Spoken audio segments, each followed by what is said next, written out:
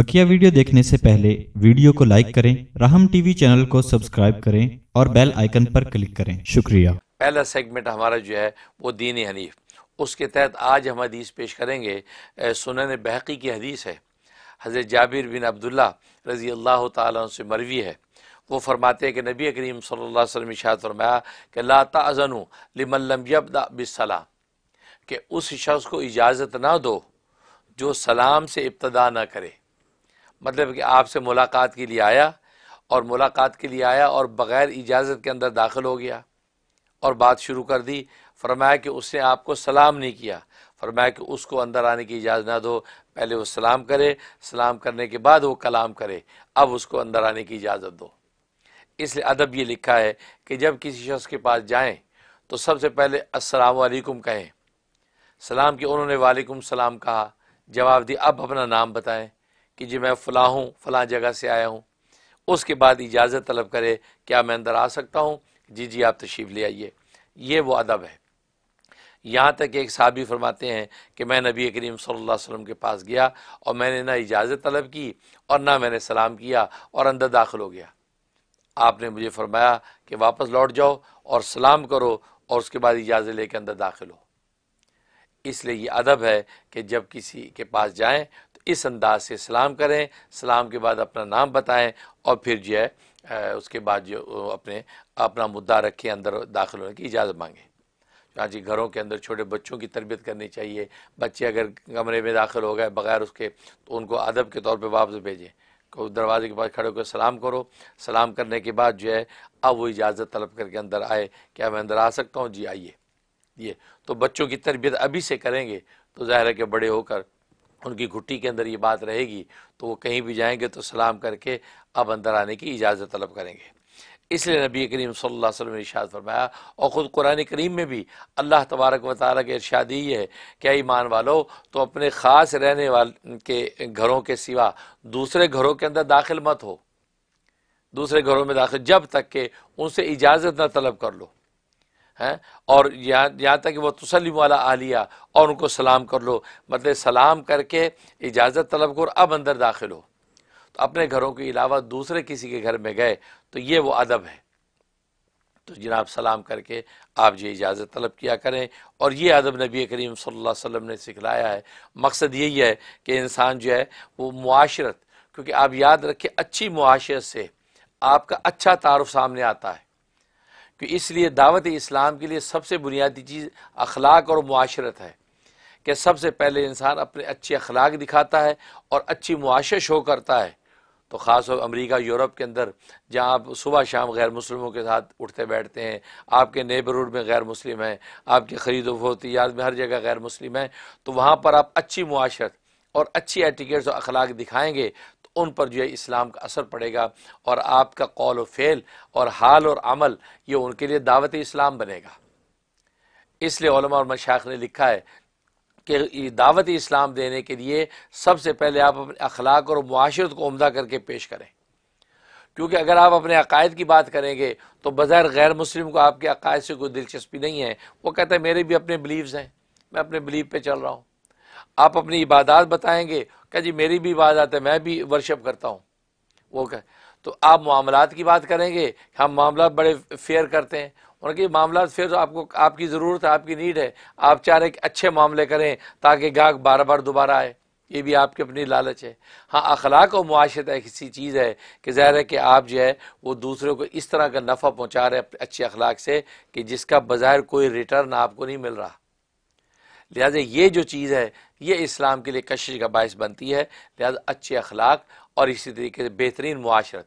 तो ये मुआशरत का अदब है जो नबी करीम अलैहि वसल्लम बतला रहे हैं। फरमा रहे हैं कि जब किसी के घर जाओ तो पहले सलाम करो। और सलाम से मुराद ये कि ज़ाहिर है कि सामने वाले मुसलमान हैं तो इसलिए आप वालेकुम कह रहे हैं। लेकिन अगर गैर मुस्लिम है तो गैर मुस्लिम को जिस अंदाज से मुखातब करने की इजाज़त है, उस तरह मुखातब हो।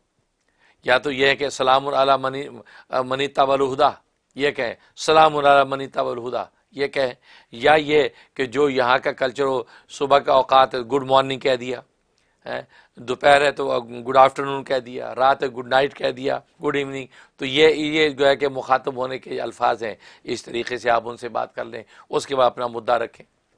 तो ये तरीका है। इसलिए ये अदब सिखाया गया। और फिर नाम बताएँ। ख़ास पर दरवाजे पर आप किसी के गए और अंदर से किसी पूछा, कौन? तो हम हमारे मुआरे में आमतौर पर हम लोगों की आदत, हम कहते हैं, मैं मैं हूँ। अब जो मसला जो है, अब्बा अब्बा ही गया, अब्बा ही दरवाजे पे गया, अपने घर वापस लौट, दरवाज़ा बजाया, बैल बजाया। अब अंदर से कोई बच्ची ने पूछा, कौन? वो कहता, मैं हूँ। अब वो अब्बा अपनी आवाज़ की पहचान से कहता कि दरवाज़ा खोल दिया जाए, है? नहीं, आप अपना तारुफ करवाएँ और ऐसा नाम और तारुफ करवाएँ अंदर वाला पहचान जाए, है? बच्ची ने दरवाज़ा के पास आ गई पूछा कौन? तो बोलो, बेटा, तुम्हारे अबू तुम्हारे अबू हैं, ये कह दिया, है? तो इससे वो समझ कि अच्छा डैडी आए दरवाज़ा खोल दिया। तो कहने का मकसद ये है कि ये मैं जो है ना, ये कोई जवाब नहीं है। यहाँ तक कि हदीस में आता है एक साहबी फरमाते हैं, मैं नबी करीम सल्लल्लाहु अलैहि वसल्लम के यहाँ गया, दरवाज़ा खटखटाया तो आपने पूछा, कौन? तो मैंने कहा, मैं, आना आना, मैं हूँ। तो उस पर जो नबी पाक सल्लल्लाहु अलैहि वसल्लम आना आना, ये आना आना, लाकिन नौकारिया, आना आना, ये क्या होता है? गोया कि आपने नापसंद फरमाया जवाब को कि अना आना, मैं हूँ मैं हूँ, ये मैं क्या होता है? क्योंकि आप ये कहें कि मेरी आवाज़ से आप पहचाने तो आवाज़ तो आवाज़ से मुशाबे हो जाए करती है। लिहाजा आप कैसे ये रिकग्नाइज कर सकते हैं कि ये फलाई आया है? लिहाजा आप अपना नाम बताइए। नाम बताएँ, पहचान करवाएँ और दरवाज़ा खोलने वाले को भी तभी दरवाज़ा खोलना चाहिए। और फिर आज की इस दुनिया के अंदर जब फितने इतने ज़्यादा हैं सिक्योरिटी रिस्क ऐसे हैं, लिहाजा उस वजह से भी जब तक पूरी पहचान ना हो जाए, उस वक्त तक दरवाज़ा नहीं खोलना चाहिए। इसलिए जो है, लोगों ने वो, जो है वो मिरर लगाए होते हैं। वो जो चोर मिरर लगाए होते हैं, ताकि देख लिया जाए कि बाहर कौन खड़ा है। तो ये सब सिक्योरिटी की वजह से भी ज़रूरी है कि सामने वाला पूरी पहचान करवाए और उसके बाद उसको अंदर आने की इजाज़त दी जाए। तो बारह कहने का मकसद ये है कि जब कहीं जाएँ तो पहले सलाम करें और सलाम करने के बाद अपना नाम बताएँ और उसके बाद जो है, वो जो जो अंदर आने की इजाज़त मांगे। चाचे हमने अपने इस से सुना है कि हज़रत क्यूमत मुजद मिलत मौलाना शफरी थानवी रही की मजलिस के अंदर ये अदब था। कि कोई नया आदमी मजलिस के अंदर अगर आता तो उसको चंद बातें शुरू में कहना ज़रूरी होती। उस मजलिस में बैठने से पहले पहले, भले आपका वाज हो रहा है, वो जैसे आया और वो कहेगा, मेरा नाम अब्दुलरहमान है। मैं जो सहारनपुर से आया हूँ और मैं इस खानका में चार दिन क़्याम करूँगा। ये तीन सवालों के जवाब जो देना ज़रूरी। क्या मकसद? मकसद ये है कि जो वहाँ के मुंतजमीन है, वो नोट कर लेते हैं कि ये सहारनपुर से आया है और ये चार दिन रहेगा मतलब चार दिन यहाँ इसकी ज़ियाफ़त करनी है, इसकी मेहमानदारी करनी है। और ये फ़लाँ इलाके से आया, दूर से आया है, उस एतबार से जो है, वो उसकी खिदमत या उसकी जो है रहने का इंतज़ाम करना है। तो फ़ौर वो जो खुदाम है इंतज़ामी उसको नोट कर लेती है। जिसने फरमाया कि उनकी मजलिस में ही ज़रूर, अगर कोई नहीं देता तो आप खड़ा फरमा देते थे, भाई खड़े होकर आप जो बताइए, कौन है, कहाँ से आए वो फिर बताता कि मेरा नाम अब्दुलरहमान है, मैं सहारनपुर से आया हूँ और जब आपकी खानका में तीन दिन का मैंने क़्याम करना मसला कि ठीक है, बहुत अच्छा तशीफ रखें। अब जो मुंतजिम है, उसने नोट कर ली सब बातें। ये कितनी खूबसूरत बात है। हकीकत बस अवकात जो है मुखर तकरीर करता रहता है, सामने एक शख्स बैठा है और तकरीर करने के दौरान बेचारा उसको देखता रहता है कि यार ये आदमी है कौन? कहाँ से आया है? किस नीयत से आया है? तो सौ सवाल फिर वो अजनबी है, जानने वाला है हाँ ऐसा बंदा देखा हुआ लगता है। तो वो ख़तीब तकरीर करते हुए कई वसूसों का शिकार होता है। दर खुद हम भी बयान करते हैं, देखते कोई ऐसा अजनबी आगे बैठ गया, अब सोचते रहते यार आदमी कौन है? और फिर ये कि उसकी हर हरकत वेड़ लगती है। बस औकात वो घूर के देखता है तो पता नहीं यार उसको बात पसंद आ रही है कि नहीं आ रही। बस औकात वो घड़ी की तरफ़ देखता है तो हमें उलझन होती है कि यार ये घड़ी को देख रहे हैं, क्या इसको जल्दी है भाई? चुप करके दीन की बात सुन ले। तो ये सारी चीज़ें वसव से पैदा होते हैं, अदम तारफ़ की वजह से।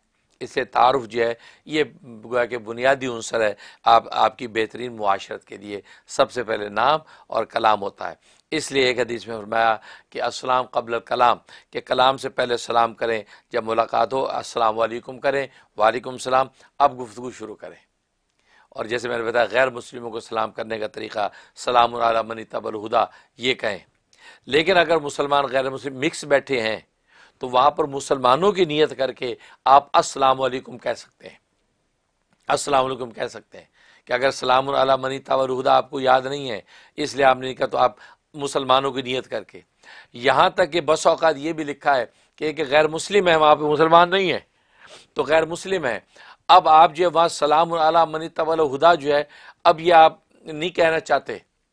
या ये कि आप समझते कि मुझे याद नहीं रहा। तो फिर उन, उनके मलाइका, जो उन गैर मुस्लिमों के कंधों पे मलाइका बैठे हैं, उन मलाइका की नीयत करके आप वालेकुम कहें। वहाँ इस फिज़ा के अंदर मुसलमान जिन्नात मौजूद हैं, उनकी नीयत करके वालेकुम कह दें, इसकी भी गुंजाइश होती है।